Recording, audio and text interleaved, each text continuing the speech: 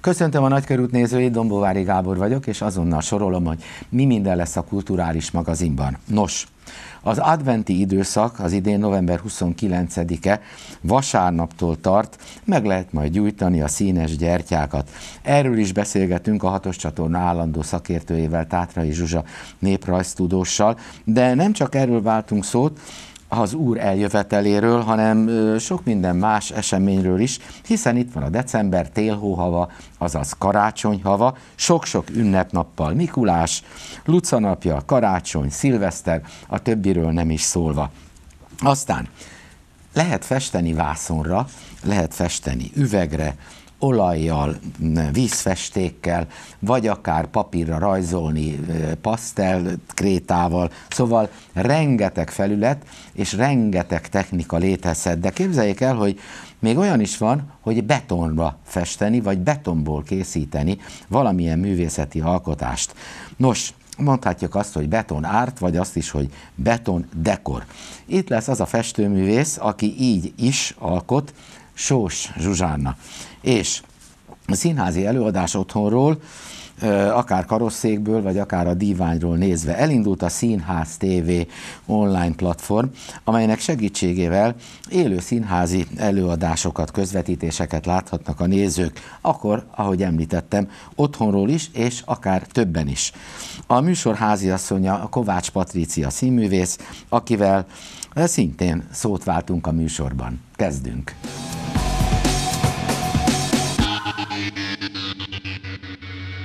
Köszönöm szépen, Zsuzsa, hogy rendelkezésünkre állsz. Hát nem úgy, mint a múlt hónapban, amikor is hát személyesen itt voltál a stúdióban. Most viszont a Skype segítségével tudunk beszélgetni, tekintettel a járványra, és ez tökéletesen érthető. Hát minden esetre Hát itt van ugye december, eljutottunk a tizedik hónapig, ugye, mert hogy a decem az azt jelenti, hogy tíz, még hát a Rómából, mert akkor még csak a tizedik hónap volt, de hát a nyelvújítás korában, a 18. században természetesen erre a hónapra is kitaláltak egy nagyon érdekeset, úgy hívták, hogy fagyláros. Hát azt hiszem, hogy ebből így nem lett semmi, de a lényeg az, hogy itt vagyunk decembernél, és mielőtt még azt mondanám, hogy advent, mert hát azt hiszem, hogy ezt mindenféleképpen kezdéskor is meg kell említeni, december 1 az Elza napja, ami azért érdekes, mert tulajdonképpen a, a hóvégi ünnepekre való felkészülés kezdődik, és többek között befogják ilyenkor a karácsonyi pulykát, és elkezdik hízlalni. Na ennyit az elsőjéről, de már is átadom a szót, mert ugye uh, adventi időszak kezdődik, kezdődött, és azt hiszem, hogy ez egy uh, gyönyörű időszak már csak azért is, mert ugye az Úr érkezését, eljövetelét várjuk. No. Így van, a karácsony ünnepkör azért szép hosszú ünnep, és tulajdonképpen, hogyha az egyházi év menetében haladunk, ami pedig advent első vasárnapját jelenti, akkor nem megy át a polgári év kezdete a következő esztendőre. Mert ugye kétféle évkezdés is van, van az egyházi évkezdete, ami most fog elkezdődni, és van a polgári évkezdete január 1-én. Uh-huh. De maga a karácsonyi ünnepkör az advent első vasárnapjától vízkeresztig tart. Tehát ami azt jelenti, hogy most vasárnap lesz advent első vasárnapja, és a karácsonyi ünnepkör vízkeresztkor január 6-án fog befejeződni. Igen. Tehát azért egy elég hosszú időszak. Maga az advent pedig egy négy hetes időszak, és mióta az adventi koszorú divatba jött, és szokás lett, elterjedt, ez tulajdonképpen én azt gondolom, hogy a rendszerváltás után nem sokkal vált ilyen rendkívül népszerűvé, az én nagy örömömre, mert ezzel tényleg szimbolizálja ezt a bizonyos négy hetet, a négy gyertyájával. Igen.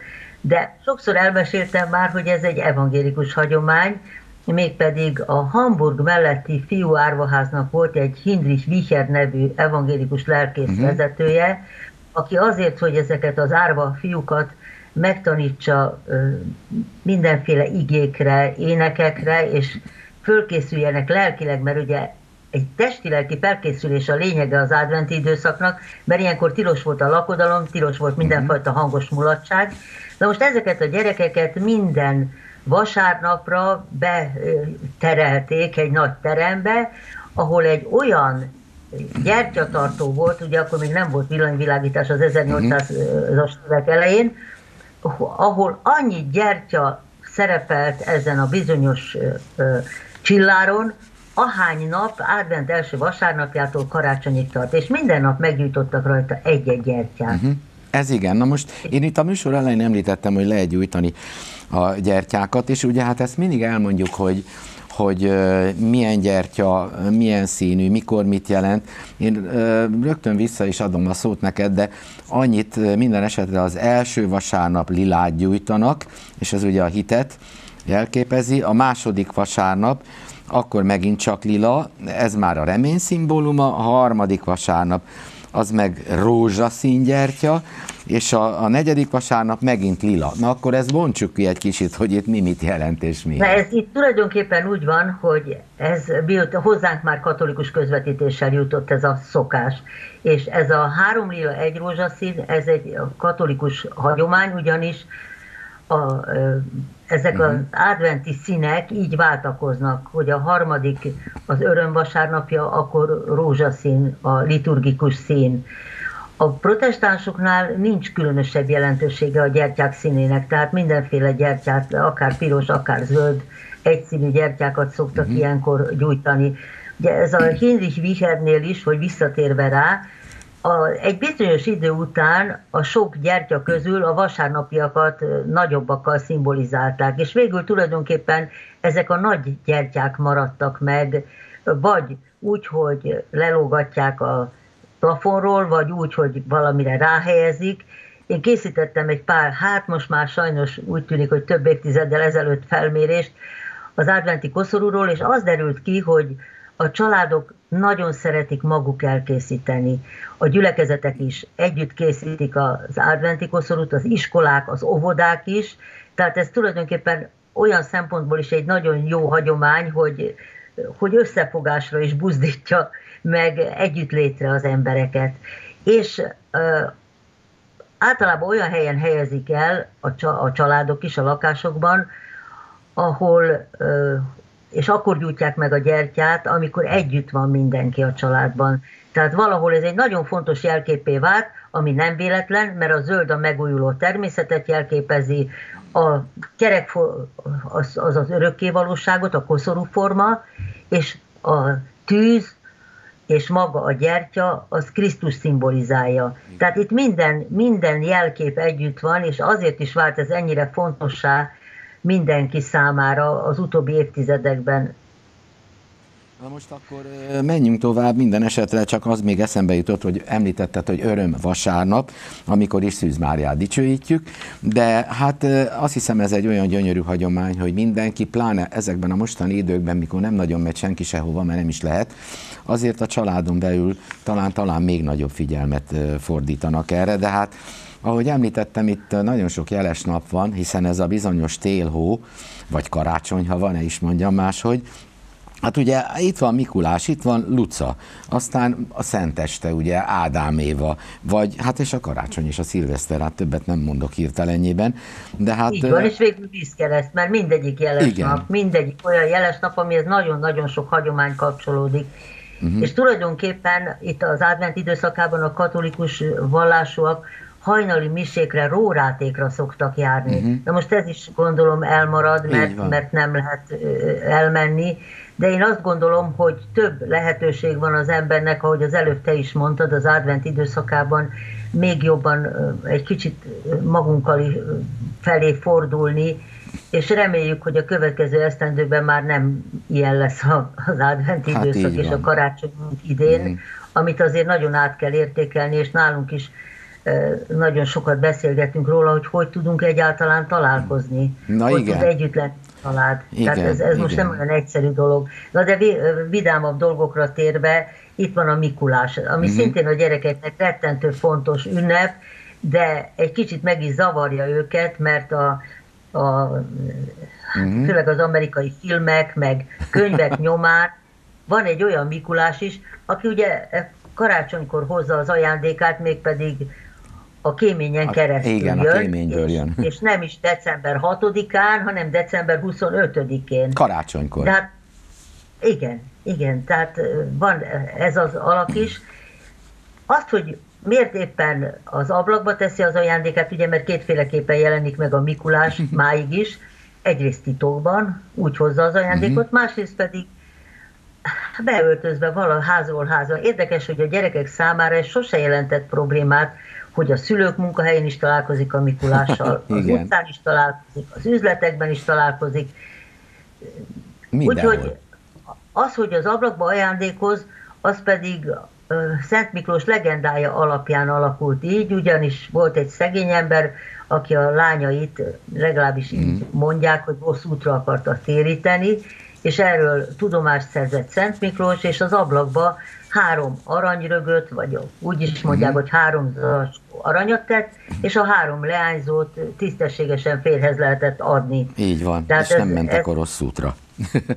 ez van. Hát szóval a, rossz... a Mikulást azt mindenféleképpen várják, a gyerekek is, felnőttek is. Hát most már a kereskedelem miatt sokkal hamarabb elkezdődött a Mikulás hát kampány mondhatnám, de tulajdonképpen nem baj, és igaz, hogy még karácsony odébb van, de már a karácsonyfák bevásárlóközpontoktól kezdve mindenhol, és a kivilágítás megvan. Hát lehet, hogy azt mondjuk, hogy korai, de én nem bánom, mert szép. Na de, azt hiszem, hogy, hogy nehogy elmenjen az idő, mert itt van december 13-a a Luca napja, sőt, még van egy Luca előtti nap is, ami Gabriella, de hát Luca. Most akkor mondjam hát azt, a Luca hogy... legizgalmasabb így van. Az a legizgalmasabb napok egyike, mert ugye a, a Gergelyféle naptárreform előtt Luca napja volt az év legrövidebb napja.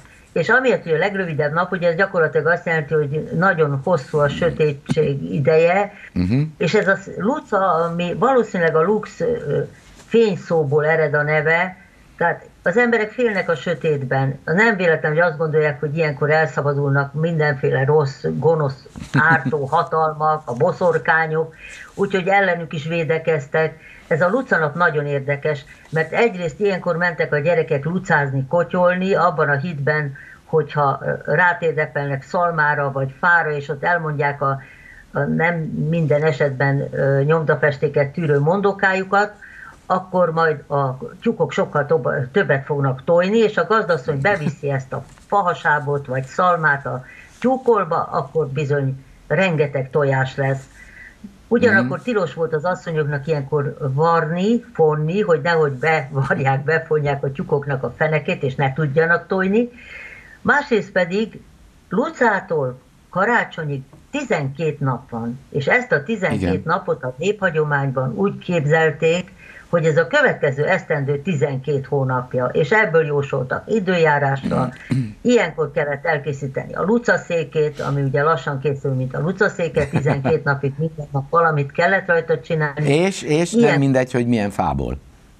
Hát nem, mert különböző fából is, és csak fából nem mhm. volt szabad bele fémet rakni, és azt gondolták, hogy ha az éjféli misén rááll a legény, uh-huh. akkor meglátja, hogy ki a faluban a boszorkány, mert annak a fején ilyenkor szarvakat lehet látni. Igen. De a protestánsoknál is ö, élt ez a hagyomány, ők meg kimentek a keresztútra, és abban reménykedtek, hogy épp arra fog járni uh-huh. majd, a, majd ez a bizonyos falubeli boszorkány. Igen. De rengeteget jósoltak ilyenkor a jövendőbelire. Egyáltalán az egész karácsonyi ünnepkör arról szól, hogy jót kívánni a következő esztendőre, hogy a következő esztendő bőségét, szerencséjét megvarázsolni, a uh-huh. lányoknak a jövendőbelit, hát például a Luca cédula, lehet, hogy sokan ismerik, az is Lucától karácsonyig tartó időszakba kellett 12 cédulára különböző uh-huh. fiúneveket írni, és minden nap egyet el kell égetni, vagy el kell dobni, de úgy, hogy nem szabad megnézni. Uh-huh. És ami a legvégére marad,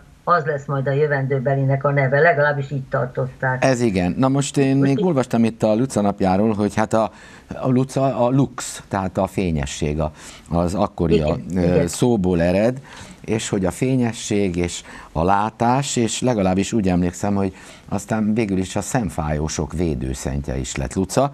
Így Úgyhogy van. azt hiszem, hogy tényleg, ahogy mondtad, a, a legjelentősebb nap talán nem kisebbítve természetesen a karácsonyi ünnepkörnek a többi napját, de hát... Igen, másképp, másképp. Tehát hogyha azt gondolom, hogy hol van a legtöbb ahogy ma is mondják, babona, vagy hol, mm. hol van a legtöbb hagyomány az év során, én azt hiszem, hogy, hogy ez a Luca nap, ahol, ahol tényleg elképesztően sokfajta jóslási, varázslási lehetőség állt rendelkezésre mindenki számára, és mentek fehér ruhába ijeszgetni is uh-huh. menyecskék, lányok, legények is a gyerekeket, meg meg is imádkoztatták őket. Tehát mindenféle alakoskodó szokások is kapcsolódnak ide, meg jósló, varázsló szokások is. Tehát érdekes, nagyon érdekes ez a, ez a Luca napja, az biztos. És akkor ugye vár itt vannak a mondókák, mert hogy e, kotyolás van, és járkáltak, ezt mondtad az előbb, de akkor ugye hát itt minden műsorban szinte elhangzik néhány verssor, és akkor itt van például hogy, e, hogy Luca Luca kitykodj, kitykodj, német asszony, néném asszony, litlott, litlott, tikjaik, ludjaik, jó tojók legyenek, százat toljanak, ezöret költsenek. Hát megvannak ezek a mondókák. Na most így a vége felé még annyit, hogy hát természetesen, ahogy említettem, a karácsonyi szokásokról, és az ünnepről, és szilveszterről, és vízkeresztről. Még decemberben, és remélem jól emlékszem, a 19. adásban fogunk beszélni külön, mert hát hála Istennek jeles napokban olyan bőséges a december, hogy ez végül is, akárhogy is nézem ide hirtelenjébe, nem nagyon fér bele, de akkor megígérhetjük ugye közösen, hogy a 19. adásba akkor már a továbbiakról is fogunk beszélni, akár a disznóülésről, mert ilyenek is vannak, és még meg sok minden. Meg a meg minden. Ugye a téli, a téli időszak az tényleg azt jelentette, hogy az emberek jobban beszorultak, uh-huh. bent maradtak a házban, és több idejük volt a mesélésre, a, a, a rigmusoknak, a, a színjátékoknak a megtanulására is. Tehát az, az egy ilyen nagyon jó közös időszakot jelent. Hát én remélem, hogy idén mi is azért kihasználjuk ezt, hogy ha másképp nem, akkor a családon belül, vagy Skype-on, vagy telefonon de mindenképpen ennek az ünnepnek ezt a nagyon erős közösségi hangulatát próbáljuk meg mi is átélni és átérezni. Igen, és, és ha már említetted családon belül is, mert én ugye mondtam itt a Mikulás kampányt, meg minden, de a, a karácsonyi vásárok nem csak nálunk, hanem külföldön is, ezek a híres nevezetes, akár Bécsi, vagy akár itt Budapesten, ezek nagyon átterelődnek máshová, és ez a hatalmas nagy kereskedelmi forgalom nem lesz, hát talán, talán többet tud együtt lenni a család. Zsuzsa, én nagyon szépen köszönöm, hogy itt voltál, és csak annyit tudok mondani, jó egészséget, és bizakodjunk abban, hogy legközelebb már akár decemberben, akár januárban ismét személyesen találkozunk itt a hatos csatorna Nagyon-nagyon remélem, és nagyon szeretném én is. Köszönöm. Köszönöm. Minden jót, vigyázz magadra.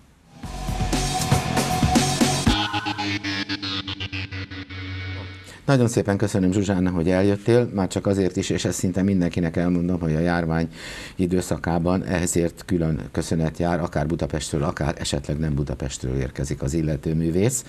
És akkor, ha most azt mondom, hogy festő művész, vagy azt mondjam, hogy festő mester, vagy mind a kettő jó? Mind a kettő jó. jó. Hát e, a festőmester csak azért mondom, mert azt olvastam, hogy 2015-ben néhány évvel ezelőtt sok-sok féle tanulmány után e, még e, megkaptad a festőmester Igen. kinevezést is. Na most a drága jó néző kedvéért mondom, hogy ennek a beszélgetésnek végül is az az alapja, illetve az apropója, hogy én azt hallottam, hogy valaki betonra fest. E, ilyenkor még fölkapja a fejét az ember, de hát az edzettebbek már tudják, hogy ebben a műsorban szerepelt olyan szobrászhölgy, aki hatalmas nagy kőtömbökből faragott, és volt itt vendégünk néhány héttel ezelőtt egy másik, aki vasalóval festett, és akkor, hogy valaki betonra fessen, hát azért honnan jön ez a gondolat, vagy hogy jött a sok más mellett? Arról is beszélünk majd. Hát nekem a festészet az a fő profil, és mindig kikacsingatok jobbra-balra, és ugye persze a festészet az a, az, az elsősorban, mm. és hát próbálkozik az ember mindennel, és mikor uh, én is uh, így félfüllel hallottam a beton dekor mhm. nevezetről, akkor gondoltam, hogy hát ezt ki kell próbálni, mert hogy ezt mm-hmm. lehet.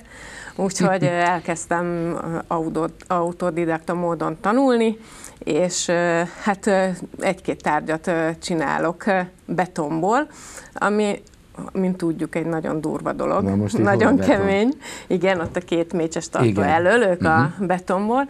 Ez egy nagyon durva anyag, a uh-huh. beton, és hogyha azt mondom, hogy ezt egy lufival csinálom, akkor az pedig egy finom anyag. Egy rendes már megint... felfújható lufi? Igen, Na ne, ezt a kemény betont? Igen, Hogyan? igen. Hát ezt a lufira nagyon óvatosan rá kell kenni ezt a kenhető betont, utána megszárad, kilukasztom a lufit, és jön a festészet, és akkor lesznek ilyen szép színek Na jó, állj meg a menet. Mi az, hogy kenhető beton? Hát úgy alakítom a betonnak az állagát, ugye, úgy keverem ki én magam, Hú. mint a köművesek, bizony neki állok, és köműves lapáttal, és egyebekkel, és uh-huh. kikeverem a betont, és aztán utána felkenem a lufira, amit nagyon-nagyon uh-huh. óvatosan kell, mert ha durran a lufi, akkor aztán minden csupa Igen. beton lesz. Hát ez, ez, ez szóval félelmetes, na de azért hát jó autodidakta módon, de azért szóval valahogy ezt, ezt meg kellett tapasztalni, vagy meg kellett ja, persze, próbálni. Persze. Sokáig kellett kísérletezni Sokáig, vele? sokáig, sokáig, ugye, mert a, a betonban vannak kavicsok, akkor azok kiszúrják a lufit, akkor már megint nem olyan lesz az állaga, uh-huh. akkor, akkor máshogy kell, akkor finomabban kell. Sokszor kikértem köműves embereknek a tanácsát is, Ez hogy hogy tudom megoldani. És aztán kísérlet, kísérlet, sok kísérlet, sok eldurrant lufi, és utána jött az, hogy már sikerült, és utána már... Hát tényleg, hogyha valaki arra gondol, és összehasonlítja a két halmaz állapotot, hogy így mondjam, már mint a kemény beton, meg a puha lufit, azért nem hiszem, hogy másnak eszébe jutott volna, hogy ebből ilyet alkosson. Egyébként van tudomásod arról, hogy valaki csinált már ilyet? Igen, én úgy tudom, hogy igen, bár nem tudom, hogy itthon Magyarországon hát csinálják, Magyarországon, vagy nem. Én külföldi videókat nem. és képeket láttam, hát néztem. kellett. Igen, uh-huh. igen, természetesen. Na de, de szóval félreértés ne essék, mert ugye ez a bizonyos több lábon állás, igen. Hát ez most a, a művészetben is látszik, és főleg azért, mert hát amit itt látunk, és amit a képeken is látunk, ez nagyon sokféle technika. És amikor uh, tanultad, vagy kitanultad ezt a mondjam, azt nyugodtan mesterséget, igen, igen. akkor hát nyilvánvalóan meg kellett ismerkednie az olajjal, vagy mit tudom én, a rajzzal, vagy a pasztelkrétával, hogy csak Bizony, ezeket soroljam. Igen. Azért ez nem két perc alatt történt meg. E, tulajdonképpen, meg az üveggel, mert az is Igen. van, e, létezik még olyan technika, most nem azt kérdezem, amit, még, e, amit nem próbáltál ki, hanem amit még ki szeretnél ezek mellett próbálni? Biztos, persze, természetesen vannak azért olyan technikák, de vannak olyanok, amiket kipróbáltam, és nem akarom többet csinálni, azért ilyen is van természetesen, mhm. vannak kedvenceim, ugye, ugyan én nem vasalóval, én csak Na festőkéssel szoktam festeni, vannak olyan képeim, képeim, amit csak simán, csak késsel, és csak azzal rakom uh-huh. fel az anyagot. Vannak ecsetesek, és vannak nagyon egyszerű képek is, mint itt az asztalodon is látszik. És akkor, akkor beleértve ezt is, tehát amit, amit mondtam, hogy itt mindenféle technika Mindent, mindent. Hát igazából 12 éve kezdtem ezt az egészet. Uh-huh. Három mesternél tanultam, mind a háromra büszke vagyok, hogy náluk tanulhattam, és mind a háromnál teljesen más dolgokat uh-huh. tanultam, úgyhogy Ilyenkor szokták azt kérdezni, hogy melyik a kedvenc, de én nem kérdezem, mert melyik ujjamat harapjam meg ilyenkor az a válasz általában, és ez teljesen érthető. Hát a példaképem az az első mesterem volt, ő a Geisler József, már sajnos nincsen mhm. közöttünk, uh-huh. őtől az alapokat kezdtem el, a, a pasztákrétát, uh-huh. a rajzolást, mindenféle alapot nála tanultam, uh-huh. és ő a példaképem. Tudsz rajzolni? Hát igen, most már igen. most, na jó, akkor ezek szerint szeretsz is rajzolni. Igen, nagyon. A, a másik, hogy hát természetesen e, miután festőről és képekről van szó, a színvilág az mindig mindenféleképpen nagyon fontos, és e, szóval itt, amit látunk csak itt az asztalon, itt is hát most nem mondom azt, hogy meghatározó a sárga, de valahogy ezen, ezen egyből eszembe jut. Szóval... Én elég szélsőséges vagyok, két Na. kedvenc képemet hoztam, az egyik egy, egy nagyon színes kép, amiben ugye a, a meleg színek többnyire dominálnak, uh-huh. a másik pedig a fekete-fehér képeim, úgyhogy elég szélsőséges az én repertoárom, amit nagyon szeretek. Uh-huh változatos. Uh-huh. Ez hangulatfüggő is, hogy mikor, milyennel, hogyan uh-huh. kezdünk neki dolgozni. És az az asszony külsejű szobor? Ő egy textilszobor az újrahasznosítás nevében, hogy hát ilyet is próbáljunk ki, textilszoborba, csak textilből készül, és egy speciális ragasztóból. Az a kép is, ami előtted igen, van, az is, is abból igen. van.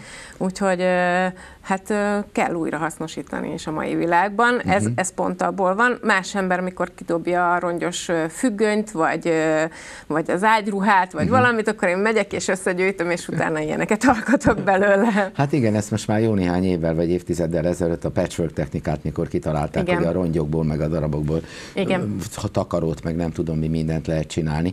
Na most itt a, a sok-sok szín, és itt van a fekete-fehér.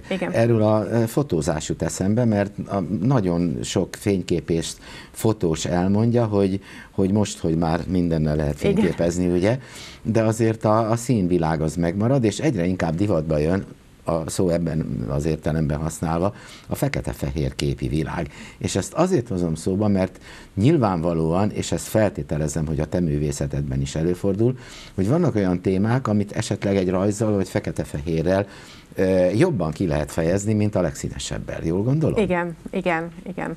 Ez biztos példának mondom, pont most festek egy második világháborús repülőt. Hú.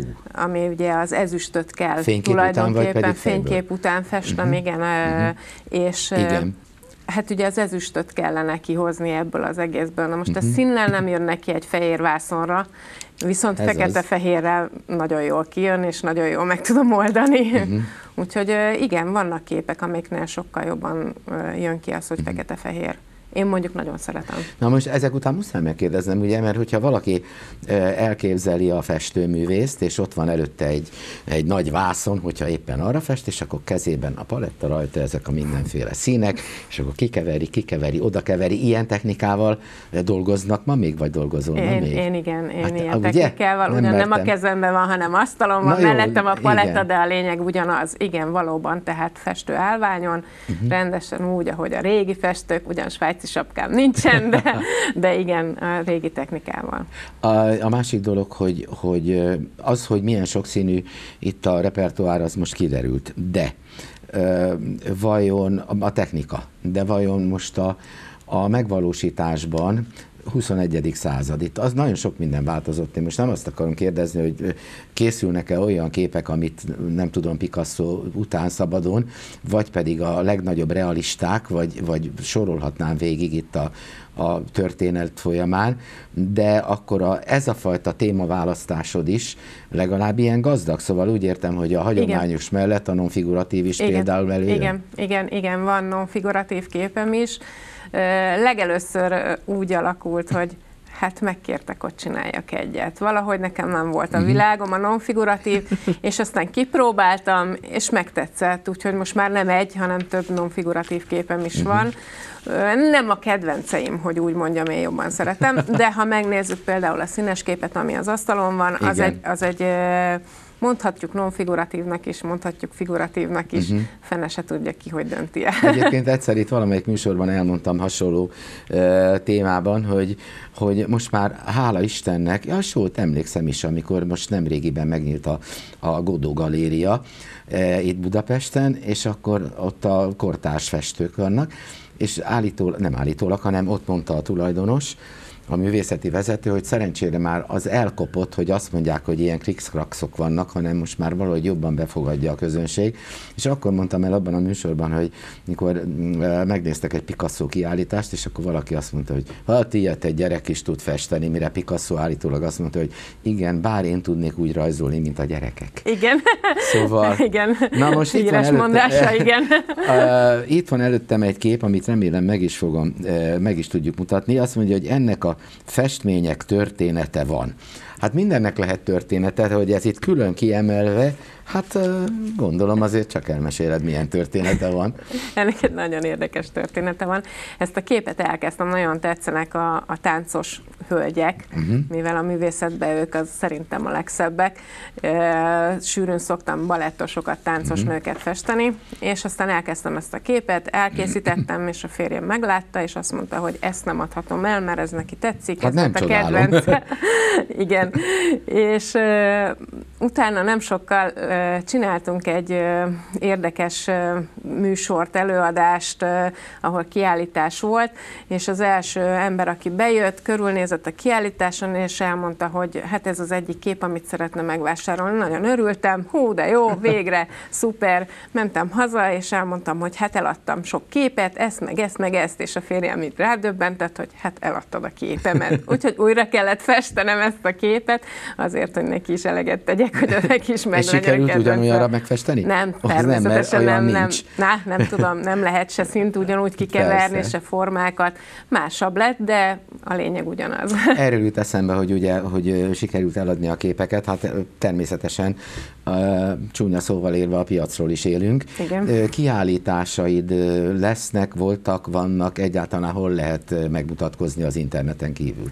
Hát most sajnos sehol. Hát most, most, most a vírushelyzet hát tudom, miatt sehol. Bezárt. Legutoljára Velencén volt kiállításom, Tervezek többet, a Velencei tó környékén élek, és uh-huh. ott szeretnék több kiállítást, de hát most minden halasztódik sajnos. Hát azt tudom, hát ez így Sok van. helyen volt, mert volt Budapesten, volt a szülővárosomban, Dunai városban, uh-huh. most, hogy a Velencei tó környékén élek, most ott is volt már, hál' Istennek, úgyhogy uh-huh. próbálkozunk a kiállításokkal. Hát igen. akkor viszont a tó lelkét meg kell találni, mert én nagyon jól tudom, hogy akik a Balaton környékén élnek, akkor e, szinte minden évszakban megfestik a Balaton maratont, mert nincs egyforma két nap se, nem, hogy két évszak, és ezek szerint, hát nyilván eszedbe jutott, vagy csak azért is mondom, hogy akkor ilyen értelemben lehet, hogy keresed a Velencei tólelkét is? Igen, igen, már próbálkozom, a képeim között szerepel két olyan, ami szintén késsel készült, ugye nem vasalóval, de késsel, késsel. készült, és vitorlásokat ábrázol, úgyhogy uh-huh. már, már próbálkozok a Velencei lelkével. Akkor ezt egy picit hoz közelebb a, a nézőkhöz, mert ez a késsel készült, hát ezt érthetem úgy is, hogy, hogy egy kenyérvágó késsel, meg érthetem úgy is, Nem hogy... úgy néz ki, mint egy kenyérvágó kés, többféle alakúak vannak, de magyarul a technika majdnem úgy néz ki, mint hogyha vajas kenyeret kennénk körülbelül. De ha már itt említetted, hogy még a köművesektől is tanultál nagyon sokat, akkor ezt lehet hasonlítani például a spaknihoz, amivel a köművesek igen, dolgoznak? Igen, igen, természetesen lehet, mert uh-huh. olyan alakú is van, ugyan kisebbek. Igen. Persze van nagy is, mert hogyha valaki nagy festményt fest, akkor nagy nagy késsel dolgozik, de igen, igen, tehát azért én sokszor oda mentem a könyvések felé, és azt is megnéztem, hogy hogyan az első mesterem, akit mondtam, uh-huh. említettem már, ő késsel festett nagyon sokat, uh-huh. és tőle tanultam a, a késes technikát. Akkor végezetül annyit, hogy amit itt látunk, hát ezek a szó jó értelmében kicsik, de Igen. hát én, én nagyon jól tudom, és ahogy láttam a képeidet, ott vannak azért elég nagy darab képek is, hogy Igen, úgy mondjam. én jobban szeretek nagy, nagy Az a nagy, nagy mekkora? Hát a nagy az van egy méteres is akár, uh-huh. de már készítettem annál nagyobbat is. És otthon lóg a falon? Nem, ezek is? mind megvásárlásra készültek, tehát megrendelésre uh-huh. készítettem őket. Otthon általában ilyen, ilyen méter, méterszer 50-es, méterszer uh-huh. 70-es, ilyeneket szoktam készíteni. Ö, mennyire mm, szabad, erről jutott eszembe, hogy mondtad a megrendelést, hogyha valami ö, megrendelnek egy képet, most teljesen mindegy, hogy egy portré, vagy azt mondja valaki, ez arról jutott eszembe, hogy mondtad, hogy eladtad a férjedek a képét, eh, hogy, hogy valamit megfesteni, ami ez, ami ez esetleg nem fülik a fogad, mert, mert nem. Most nem azt mondom, Olyat hogy akkor nem, nem csinálom meg, de, de, de akkor, akkor nem vállalod el? Bár mondjuk ezt sem mondhatom, mert a non-figuratív így alakult, Jó, hát, nem nagyon fülött rá a fogam, de azt mondtam, hogy ki kell próbálni a kihívásokat, nagyon szeretem, uh-huh. és kipróbáltam, és aztán mégiscsak tetszett. Én mindig időt kérek, ha megrendelnek, uh-huh mert megvárom azt az időt, amikor rá tudok hangolódni arra a képre, és akkor majd akkor készítem el, amikor tényleg hangulatom van hozzá, akkor sikerül minden jó kép. Legutóbb mikor volt ecset a kezedben, vagy mikor festettél utoljára? Ma délelőtt. Ma délelőtt. Igen. Hát akkor, akkor itt nincs pihenés. Nincs. És, és egy ismerősöm mondta, hogy az ihlet az tulajdonképpen többek között úgy jön, hogyha ül a metrón, vagy lát egy szekeret elmenni vidéken, arról mindig mindenről valami eszébe jut. Igen. És akkor, amikor nem megrendelés van, hanem, hanem tényleg jártadban, keltetben, akárhol, kis településen, nagy településen a környezet van olyan hatással rád? Vagy volt, van, hogy most akkor ezt meg kell csinálnom? Sokszor van az, hogy, hogy hú, ez nagyon szép, ez nagyon tetszik, na olyankor fényképezek. Én általában uh-huh. sok fényképet nézek, internetről is saját képeket is, és akkor a képeket ötvözöm össze, és abból lesz egy kép a végén. Uh-huh. Jó, hát én nagyon szépen köszönöm még egyszer, hogy eljöttél. Én köszönöm a És akkor, mint ahogy az énekeseknek azt szokták mondani, hogy akármennyire profik tessék skálázni, hát tessék szíves lenni, rajzolni és sokat festeni. Köszönöm Jó, szépen. Köszönöm.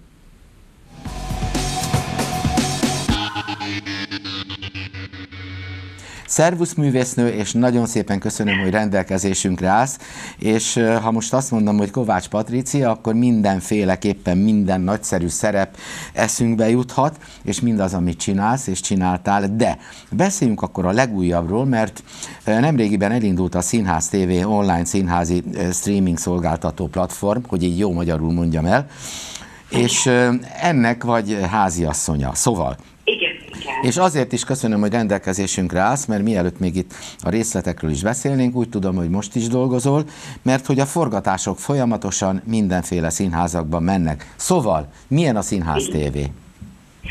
A Színház TV-t azt, azt tavasszal találtuk ki, amikor otthon ült mindenki, és streamelte a különféle vagy sorozatokat és filmeket, és nem volt színház, és elkezdtünk azon gondolkodni, hogy hát mi lenne, hogyha streamelnénk színházat. Ugye akkor az összes színház megpróbált mindenféle kis interjúkat, kézikamerás felvételeket, a színészek verseket mondtak, régi, régi rész minőségű előadásokat feltettek a világhálóra, de azért azt gondolom, hogy azok elfáradtak egy ponton. Egyszerűen a nézőknek vizuálisan az igényeik már mások, mint amilyenek régen voltak a színházi közvetítések. És akkor ezen elkezdtünk gondolkodni, hogy mi lenne, ha csinálnánk olyan streamelést, ami nem egyszerűen arról szól, hogy leteszünk hat kamerát és felvesszük, hanem ez fel lesz közelízve, ez sokkal inkább olyan lesz, mint egy tévéjáték, vagy mint egy mhm. film, uh-huh. azzal az igényességgel, természetesen, természetesen nem kikerülve azt a rendezői koncepciót, amivel készült a darab. És akkor az egész nyár az arról szólt, hogy lényegében fejlesztettük ezt, hogy hogy tudjuk a legjobban csinálni, úgyhogy a világ minden tájánra tudjunk sugározni. És aztán beütött most ez a Covid második hulláma, mi meg akkor debütáltunk, úgyhogy egy kicsit, kicsit ez a öröm, öröm az üröm, mert nem is tudom, hogy kell mondani, mert hogy, mert hogy végképp úgy tűnik, hogy van létjogosultsága egy ilyen platformnak. És mindenféleképpen örülnek a színházak is, ezt nyugodtan hozzátehetjük, mert, mert műfai sokszínűség van, szóval van itt vígjátéktól kezdve minden, majd arra is mindjárt átérünk, de hogyha most éppen, amit fölírtam november 26-a, akkor beszéltem kollégákkal, akkor éppen a játékszín van soron, igen. ugye? A játékszín, igen. A, igen, csütörtökön lesz a, a streameljük a hatan pizsamában. Uh-huh. Ez nálunk nagyon fontos, hogy, hogy igazán sokszínű és sokféle színházban menjünk. Tehát, hogy ne az legyen, hogy ez egy ilyen réteg dolog, ahova mondjuk csak művész színház van, vagy csak szórakoztató színház, hanem itt lehetett látni az őrült naplóját is, és aztán lehet látni a hatan pizsamában is. Megyünk a Radnótiba, meg a Katonizsa színházba, ugyanúgy megyünk és szórakoztató dolgokat felveszünk, mondjuk például a játékszínből, vagy a Centrál színházból. Tehát ez nálunk uh-huh. nagyon fontos.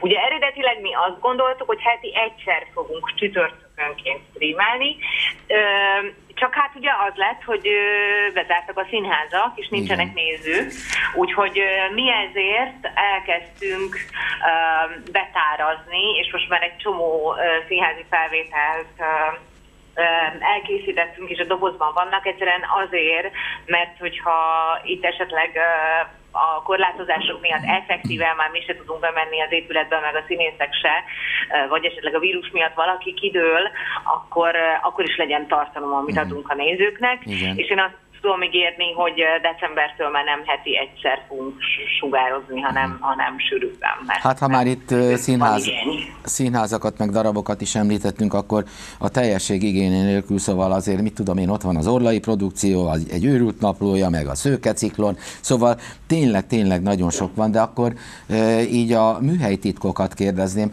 hogy zajlanak le ezek a forgatások, szóval akkor azt hiszem, hogy épp eleget dolgoztok. Nagyon sokat. Tehát én azt kell mondjam, hogy uh, ugye van egy része, amikor, uh, amikor rögzítjük a, a darabokat uh, real time, de mm. rengeteg uh, előpróba van. Tehát, hogy amikor elmegyünk egy színházhoz ezt felvenni, akkor mi előtte egész nap próbálunk. Uh, beállítjuk a fényeket, beállítjuk a kamerákat, megnézzük, hogy bizonyos dramaturgiai mm. pontokon hol, mikor, kit kell mutatni, egyből vágjuk ott helyben, tehát a, uh-huh. van, van az adásrendezőnk, a Rannai Márk, aki egyből vágja a darabot uh-huh. uh, ott helyben, és akkor vannak az extra tartalmak, amiért meg igazán én vagyok a felelős, ami meg arról szól, hogy hogy egy kicsit, mint egy ilyen háziasszony veszek részem benne a dologban, ezt úgy kell elképzelni, hogy mindig a bejelentkezésemben beszélek az adott színházról, hogy ott milyen típusú munka folyik a darabról. Ha van olyan kötődésem, hogy mondjuk én játszottam már ezt a darabot, vagy játszok abban a színházban, akkor elmesélek egy történetet, ami, ami egy személyes dolog, és akkor utána minden egyes darabra megbeszéljük, hogy hol szünetben, uh-huh. hol előadás végén hátra megyünk. És Igen. megmutatom egy kicsit, hogy milyen a színház hátulról, hogy milyenek az öltözők, uh-huh. hogy díszítenek a díszítők, milyenek a, milyen egy kelléktár, uh-huh Hát kulisszák mögé is benézünk. Tehát igen, Így kicsit van. hátra megyünk, és kicsit megmutatom azt, hogy milyenek, amikor, amikor a színészek nem szerepelnek, hanem éppen csak szöveget mondanak, vagy egymást rikálják a büfében. Na most... Szóval van egy ilyen reality része, és ezt, ezt csinálom én, csak hát nekem ugye sok felkészüléssel telik ez, hát mert persze mert ez az én felelősségem, hogy, hogy mindent lebeszéljek, meg utána nézzek, hogy mindig az adott színház éppen uh-huh. kit lehet zavarni, nem zavarni, ki akar beszélni, ki nem akar beszélni, mi ez a fontos információ, amit nekem mindenképpen nekem mondjam. Um, Szóval egy nagyon kalandos. Uh-huh. Na most uh, azt mondtad, hogy és ez nyilatkoztad is, hogy izgalommal és lelkesedéssel vártad a munkát, és hogy fantasztikus ötlet, hogy Amerikától Ausztráliáig eljut a magyar kultúra. És most a hallottak Igen. után mondhatjuk, hogy ez nem túlzás, mert ahogy mondani szokták, valaki éppen Ausztráliában a díványon fekve is nézhet magyar színházat, ugye? Igen, igen.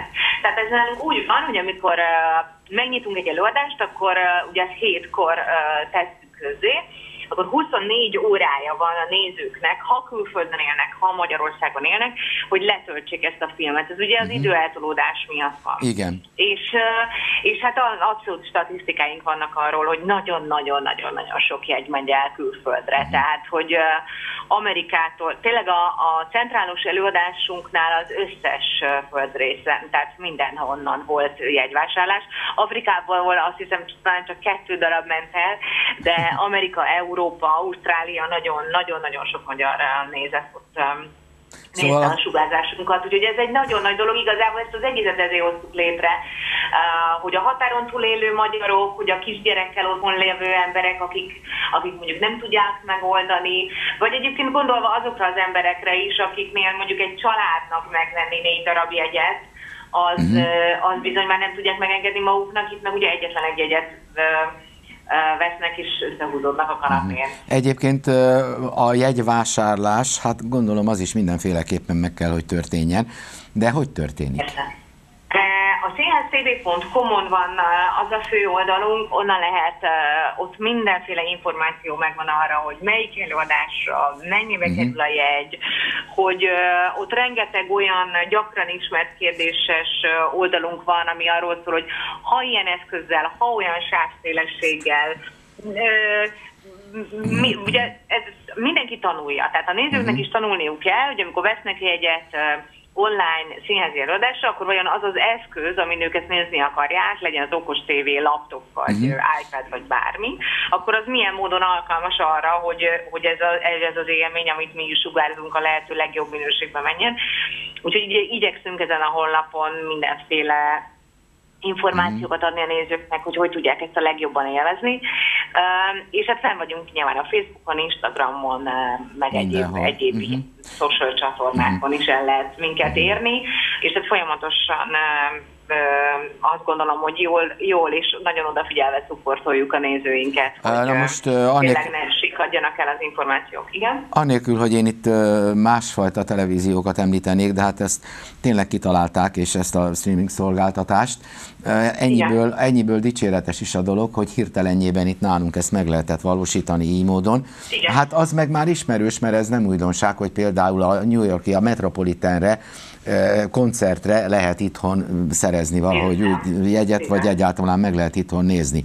Na most még egy, hogy említettünk színházakat, de de ö, merre mentek esetleg vidékre is, és ezt azért kérdezem, mert te valamikor néhány évvel ezelőtt éppen Egerben, a Gárdonyi Géza színházban is voltál. Szóval Egerbe például nem mentek?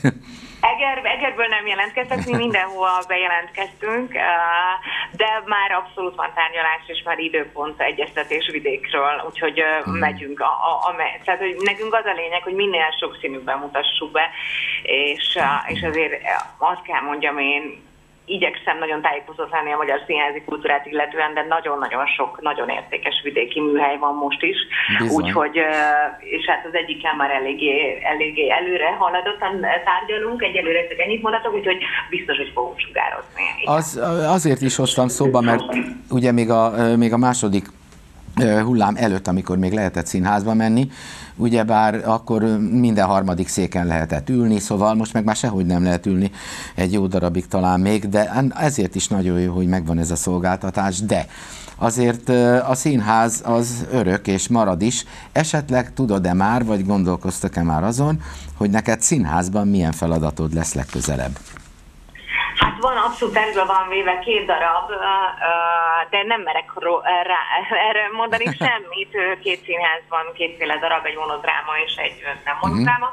Nem merem mondani, mert, mert azért ez a Covid mindent átírt, hát és akkor eddig, eddig viccesen azt mondtam, hogy most már én minden ceruzával írok be, most meg már igazából azt mondom, hogy be sem írom, hanem a fejemben tartom lényegében nem tudjuk. Tehát nem, nem, nem, nem, nem tudjuk megmondani. Én készülök, uh-huh. nekem van a fejemben valami, csak teljesen uh-huh. felesleges mondanom, mert, mert lehet, hogy ezt Persze. felül fogja írni a, a, az a helyzet, hogy éppen, éppen bemutatható-e az a darab, uh-huh. vagy egyáltalán, hogy mikor, vagy tehát, hogy most nem tudom. Ezt hát tudom, hogy van a Színház TV, ez, ez lesz, ameddig lesz. Reméljük, hogy minél hosszabban, és én nagyon-nagyon nagyon remélem, hogy, Igen. hogy tavasszal itt már lesz rendes színházba járás is. Na most ez azért is jó, mert megelőzted a kérdést, hogy lesz, ameddig lesz, mert az se jó kérdés akkor tulajdonképpen, hogy meddig van ez a program, mert, mert tényleg kiszámíthatatlan, de gondolom most függetlenül attól, hogy, hogy járványhelyzet van és kényszerhelyzet van, jól gondolom én, hogy megszerettétek ezt a programot csinálni? Ezt, ezt nagyon megszerettük, és én biztos vagyok benne, hogy meg fogunk maradni. Igen, mert, mert azért nagyon-nagyon, tehát rájöttünk, hogy nagyon-nagyon sok emberre egyéb, nehez egyébként sem jut el a, uh-huh. a színház.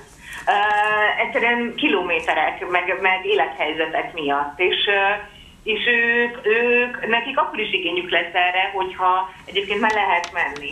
Egyébként meg azt is mondom, hogy azért nagyon sok olyan darab van, ahova konkrétan nem lehet előrejegyet kapni, nem most mi ezt tudjuk streamelni, és akkor azért az mindenkinek jó. Úgyhogy én azt gondolom, hogy biztos vagyok benne, hogy, hogy meg fog maradni ez a platform is, és, és biztos vagyok benne, hogy ez csak segítheti egyébként a, a színházba járás. Tehát, hogy nem, nem lesz az, hogy akkor innentől kezdve átnyergelnek a nézők az online térbe, és nem mennek már el színházba fizikailag, mert szerintem már mindenki vágyna arra, hogy ez csak olyan nagyon jó érzéssel el tudjam Igen, de, de az biztos, hogy egy kicsit mondhatom azt is, hogy missziót is teljesítettek, mert hogy hát azt nagyon jól tudjuk, hogy szinte minden színház tájol és jár vidékre, de éppen a legkisebb településekre nem biztos, hogy egy 26 statisztával vagy részen az nem Az orlai produkcióban nagyon sok helyre eljutok, de azért nagyon sok színház van, amelyik nem, nem, nem menni. Persze, vagy olyan uh, helyre menne, ahol, ahol egyszerűen nincs fogadókészség, szóval nem biztos, hát hogy... Persze, be, persze. Beszélgetem például erdélyi, erdélyi ismerősökkel, újságírókkal,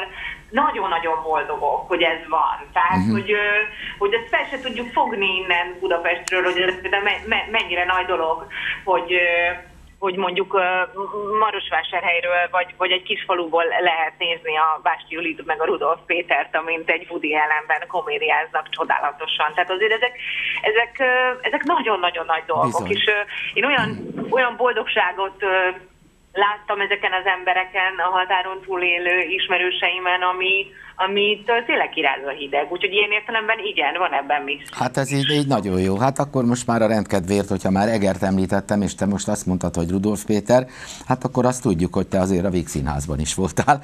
Úgyhogy eh, tényleg, tényleg nagyon sok felé megfordulsz, hála Istennek.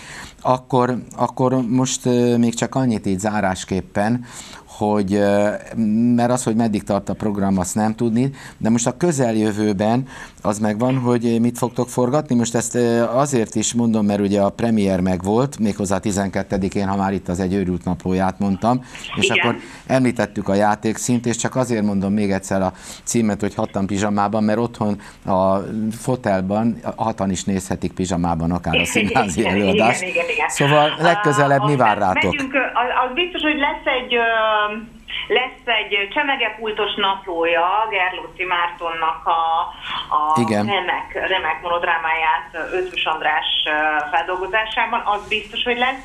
Aztán megyünk Zsándárk lesz streamelve a Katrin József Színházból. Uh-huh. Hú, és most fejből nem baj. megmondani, de, de ezek is változnak, mert például a jövő héten ne, eredetileg nem a csemegepultos lett volna, hanem a Radnótiba mentünk volna, viszont a Covid helyzet miatt Ez az. Uh, azt le kellett mondani uh-huh. uh, betegség miatt, úgyhogy, uh, úgyhogy azt most hirtelen kellett valamit előráncsunk a dobozból, és hát ezért is dolgozunk előre, uh-huh. mert egy ilyen helyzetben például ott álltunk volna, hogy nem tudunk, nem tudom mit, mit adni. Pontosan. De szerencsére uh-huh. előre készültünk, úgyhogy, úgyhogy ez, úgyhogy majd visszamegyünk a Radnótiba is, amikor már lehet. Jó, akkor én még egyszer nagyon szépen köszönöm, hogy rendelkezésünkre álltál, és csak annyit neked is, mindenkinek és a kollégáknak is, hogy legyen minél több jó előadás, abban biztos vagyok, hogy lesz, és tényleg vigyázzatok magatokra. Köszönöm nagyon, szépen. Nagyon szépen köszönjük. Köszönöm szervusz, szépen. Szervusz, viszont.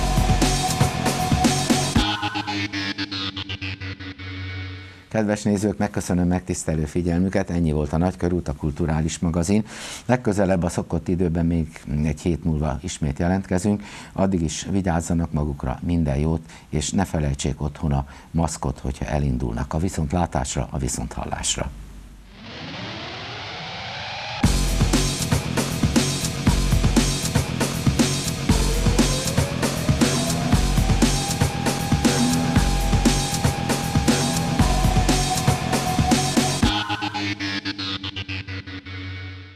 Nagykörút című kulturális közéleti magazinműsor a Média Tanács támogatásával a Magyar Média Mecenatúra program keretében készült.